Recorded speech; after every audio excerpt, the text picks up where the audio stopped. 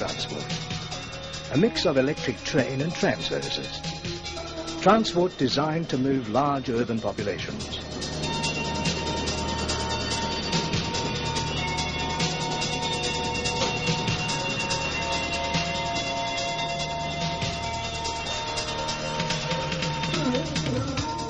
Today, Melbourne is the only Australian capital city retaining a major system of electric street tramways. And until recent years, electric rail transport was confined to Melbourne and Sydney. Why then almost alone has Melbourne chosen a transport system based upon electricity?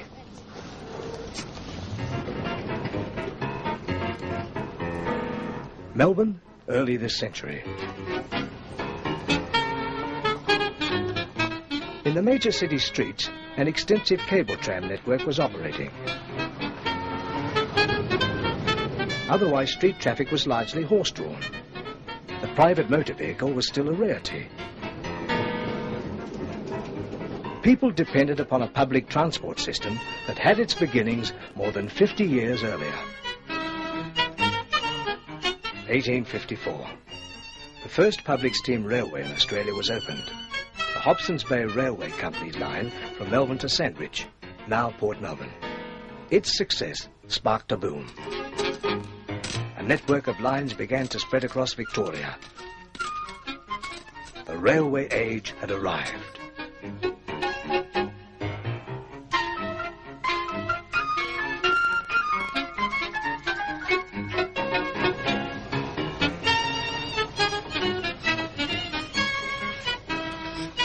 By the turn of the century, Melbourne already had an established suburban rail system. Motive power was the steam locomotive.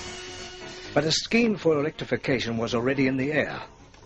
The first proposals were made as early as 1896, but it wasn't until 1912 that a parliamentary select committee recommended acceptance of a scheme for the electrification of Melbourne suburban railways.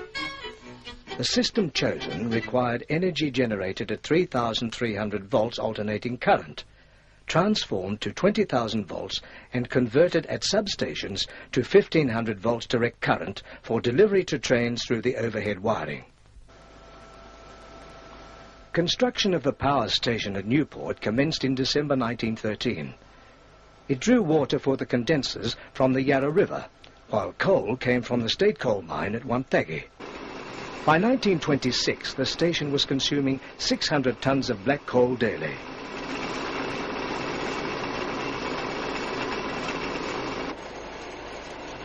Here, a new turbo generator is arriving by sea on the SS Burara. The generator weighed 48 tons and was described as the largest in Australia.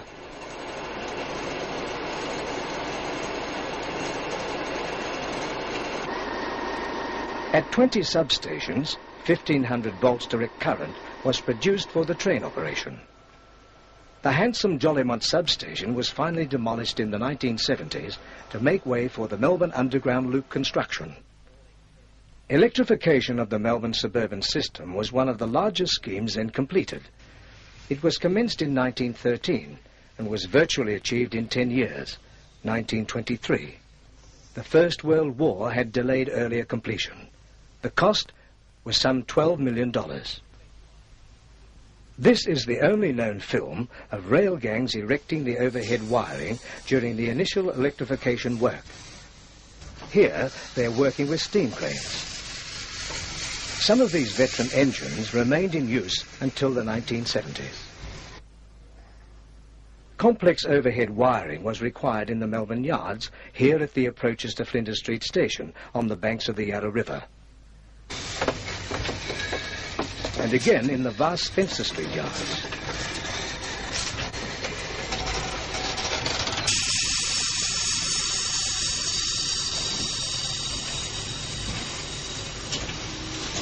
This extensive panorama of the early 1920s reveals much of interest to the rail historian, including the early steam-hauled passenger stock.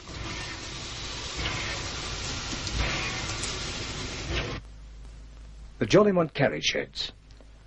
A total of 906 carriages were provided for electric operation. These included 288 previously steam-hauled carriages dating from 1888 converted to electric traction and 618 new Tait carriages. These were named after Sir Thomas Tait, chairman of the Victorian Railways Commissioners between 1903 and 1910.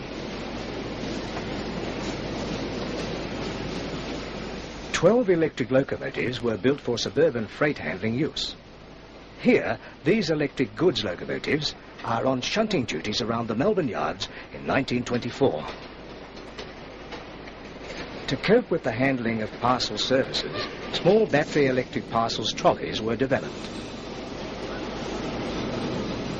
Five new Tait parcels coaches were built, while another six wing door carriages were converted for parcels traffic.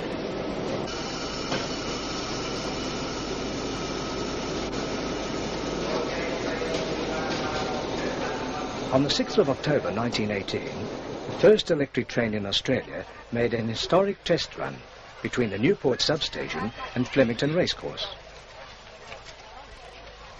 On the 28th of May 1919, electric traction was officially inaugurated between Essendon and Sandringham. With justified pride, the Victorian Railways Commissioners publicised the achievement of electrification, the first in Australia. Here they take us on a driver's eye view of a train arriving in Melbourne in 1926.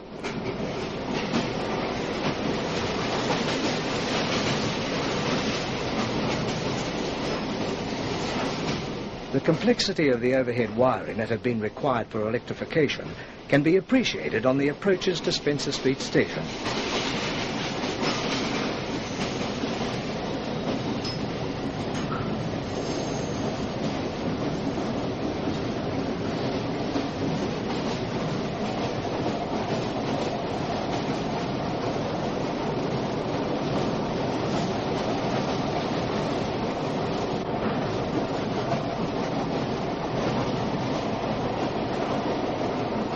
Double-track viaduct, opened for traffic in 1891, had been expanded to four tracks in 1915.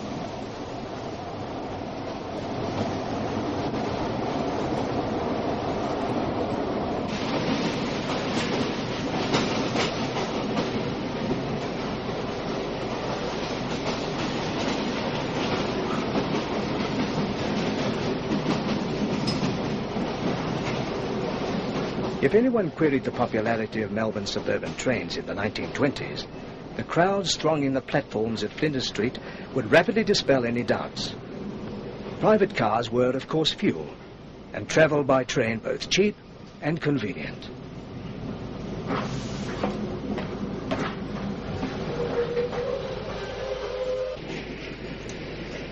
The classic publicity view of Jolimont Yards. In 1926, the trains were all red. It would be over 30 years before the first blue and later silver trains would invade the yards.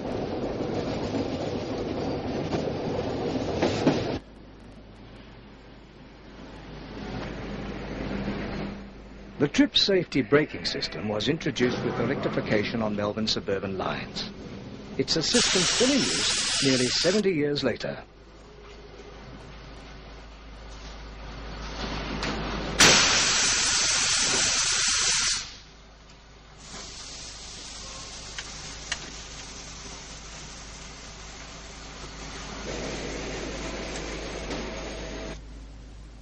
Much publicized dead man's handle. As its somewhat grim name implied, it was designed to stop the train in the event of the driver dropping dead or collapsing. If the driver relaxed his grip, the handle would fly to the off position and cut off power. Efficiency and correct practice. Instructions for the preparation of an electric train for the road, 1920 style. Motor carriage number 299. First, the motorman and guard must join the train. Motorman to open the isolating cock and set the trip valve. This gives free passage of air to the safety apparatus of the train. Motorman to enter cab and raise the pantograph conveying the current from the contact wire to the train.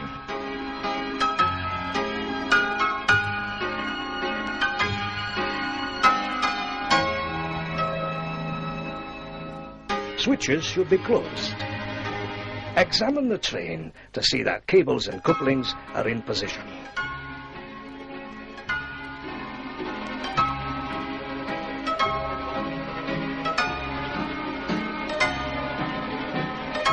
Set the trip valve on the trailing car.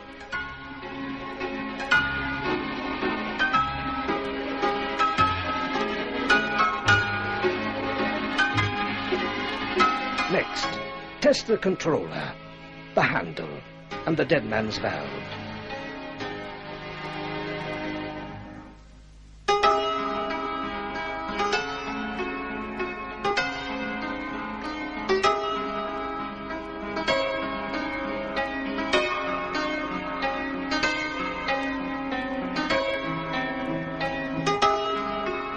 Lower the pantograph to test the train cable.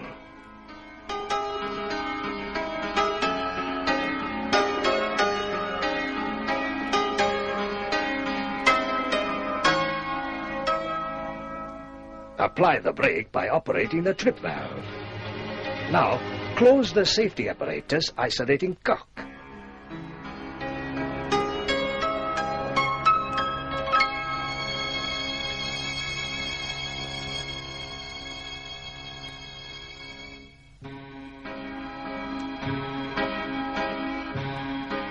Examine the brakes. Close the main switch.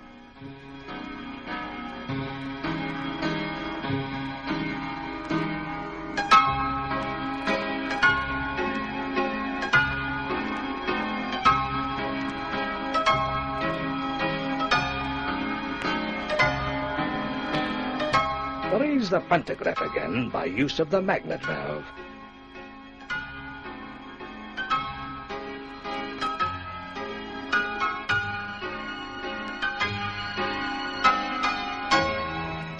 Test the master controller.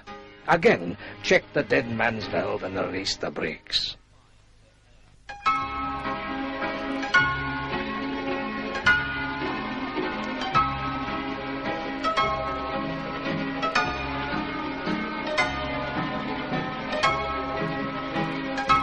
The train should now be tested by forward and backward movements.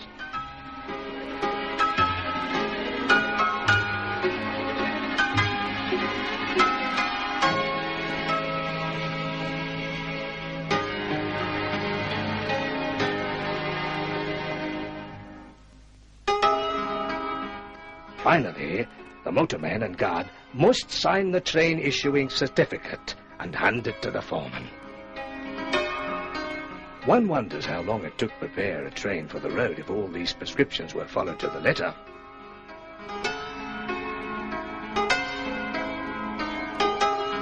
Once the train was ready for operation, danger still lurked in the yards for the unwary railmen.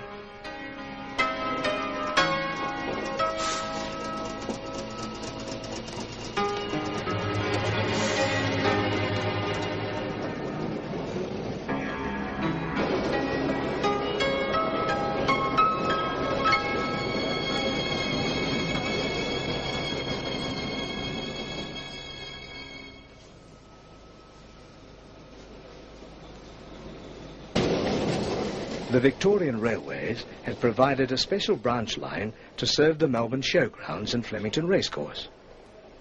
The convenience of rail travel was an inducement for vast numbers of racegoers to patronise the railways.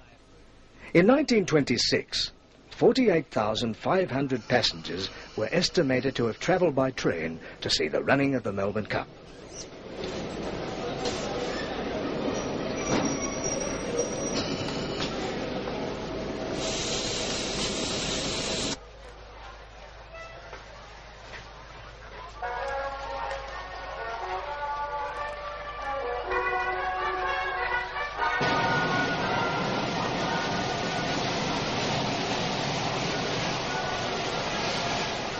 The Victorian Railways Commissioners proudly announced that after the 1926 Cup, electric trains carried 850 passengers every minute back to the city.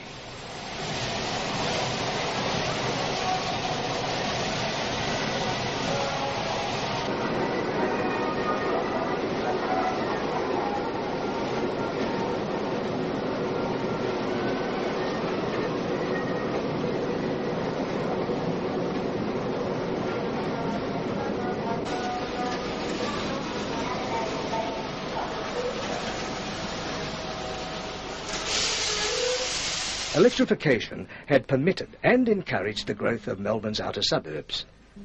Train travellers now had access to fast transport to the city, even at the more distant extremities of the electrified suburban system.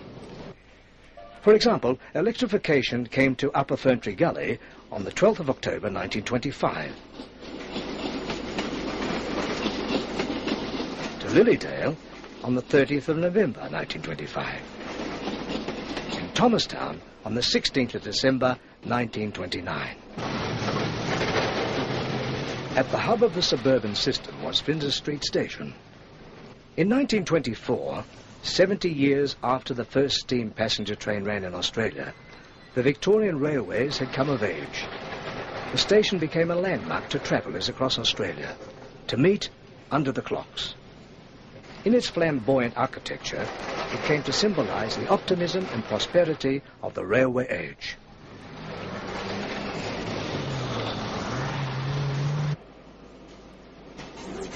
The last red Tait trains were withdrawn from service in December 1983. Yet as early as 1967, electric train preservation was initiated by the Australian Railway Historical Society and later supported by the Association of Railway Enthusiasts.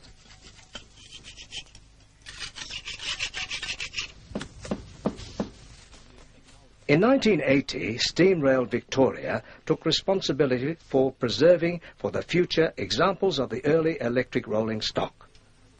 Elecrail volunteers are restoring to full operating condition historic swing door and Tait carriages. These will become a fitting living memorial to the work of the early designers of electrification.